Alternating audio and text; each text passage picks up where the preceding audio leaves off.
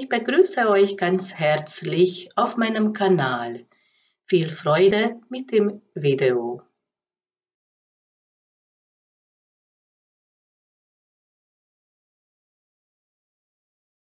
Ich erzähle euch eine Geschichte. Eine Geschichte über den Sternenhimmel. Es gibt dort oben ein Königreich und passiert immer wieder etwas Neues. Ja, ist so viel los. Der König ist gerade nachdenklich und sehr zurückhaltend.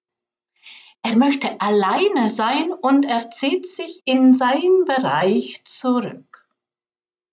Er weiß aber, dass ein wichtiges Gespräch nähert sich und er wird einen Vertrag unterschreiben.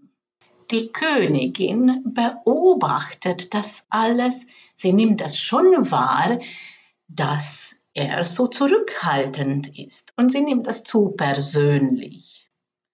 Sie wirkt momentan sehr unsicher.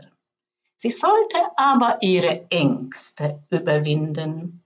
Immerhin hat sie tolle Ideen und jetzt könnte sie das verwirklichen. Sie wird auch Glück haben, aber sie sollte das auch glauben. Außerdem, sie kann heute mit einer angenehmen Überraschung rechnen. Die schöne Prinzessin ist auch sehr nachdenklich und lebt die Erinnerungen. Und das sind mit Tränen verbunden und das sollte sie abschließen, damit sie wieder zum Leichtigkeit kommt weil das sind Gedanken und das hat mit ihren Gegenwart gar nichts zu tun.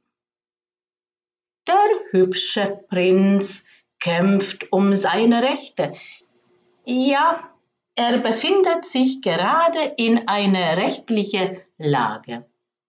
Aber da kommt ein guter Ausgang, nicht nur bei diesem Prozess, sondern auch in die Liebe. Diese Geschichte, was ich euch erzählt habe, hat selbstverständlich astrologischen Hintergründe. Sonne und Mond steht in einer Quinkungsverbindung und das löst Unsicherheit aus, besonders bei die Königin. Mond entfernt sich schnell von dieser Position und dann hat die Sonne keine anderen Verbindungen und das heißt, der König möchte alleine sein und das in der Tierkreiszeichen Krebs und das bedeutet auch eine gewisse Rückzug. Eine rückläufige Merkur nähert sich zum einen Verbindung zum Sonne. Und das heißt, ein wichtiges Gespräch nähert sich und ein Vertrag ist natürlich auch möglich. All das in Tierkreiszeichen Krebs nach indischen Berechnung. Mond bewegt sich in Tierkreiszeichen Wassermann im Mondhaus Shatabisha. Dieser Mondhaus bedeutet übersetzt 100 Ängste, oder 100 Glück. Und das heißt, in diesem Bereich, wo gerade die Mond bewegt, sind es sehr viele Glückssterne. Aber die Angst blockiert. Und dieser Quinkungsaspekt zur Sonne löst natürlich diese Unsicherheit und Ängste aus. Das entspricht die Stimmung die Königin. Es kommt heute ein Sextil zwischen Mond und Uranus. Und das ist eine angenehme Überraschung. Eine Verbindung nähert sich bzw. ist schon im Orbisbereich zwischen Mars und ein rückläufiger Jupiter, ein Trigon.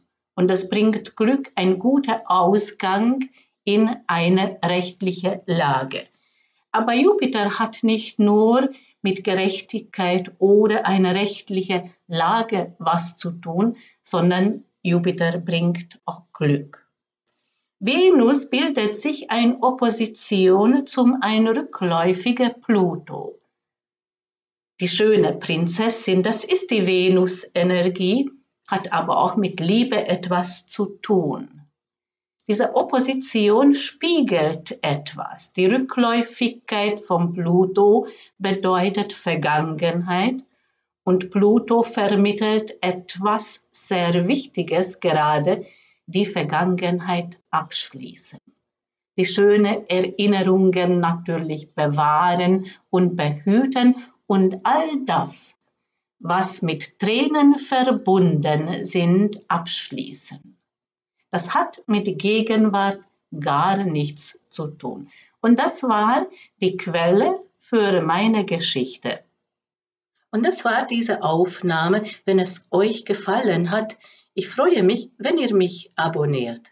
Bis zum nächsten Mal, eure Dendera Susanna Medici.